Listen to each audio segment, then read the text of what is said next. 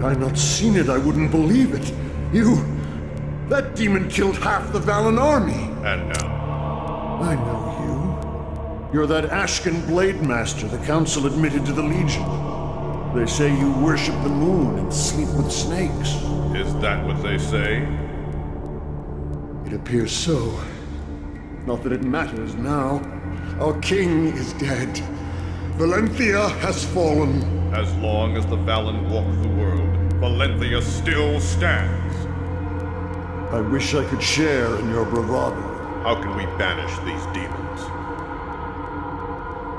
We can't. There must be a way. Yes, indeed there must.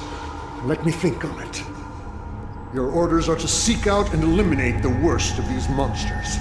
Meanwhile, I'll be in the marketplace, trying to assemble what remains of the Legion while pondering our next course of action. If you have need of me, seek me out there.